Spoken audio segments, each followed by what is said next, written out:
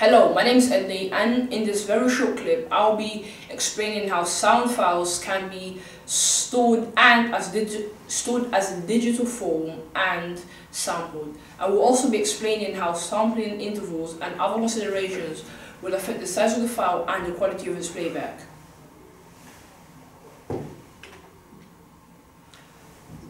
Now, Sound waves are analog. This means that they can travel through matter and that is the only way which we can hear them.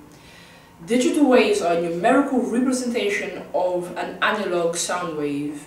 However, they have to be stored as binary numbers as that's the only way that a computer will be able to understand them. Now, a analog to digital converter, also known as the ADC, is a device that takes real-world analog signals and converts them into a digital representation. Now, we're going to, we're going to be talking about sampling rate. This means the number of samples taken per second from an analog sound wave. The sample resolution is the number of bits used to store each sam sample file. The more bits that is that you use, then the better the quality. Also, it will increase the size of that sound file. The sample interval means the time period taken per sample or measurement.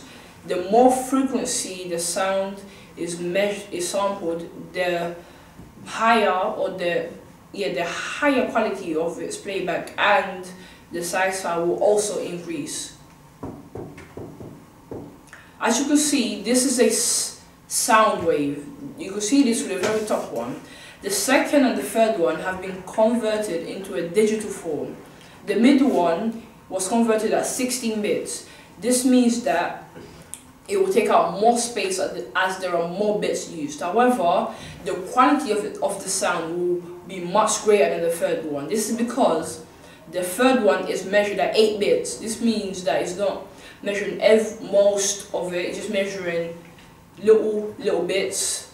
And however, it will take up less space in less space in your hard drive. Now here, this high quality sound which was measured at 16 bits.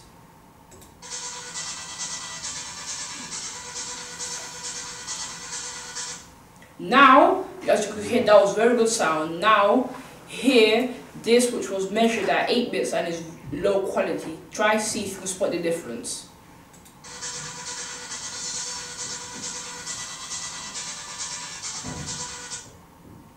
If you saw there was a little difference, but you not might be able to notice it as it could be very difficult. Well, thank you for your time and goodbye.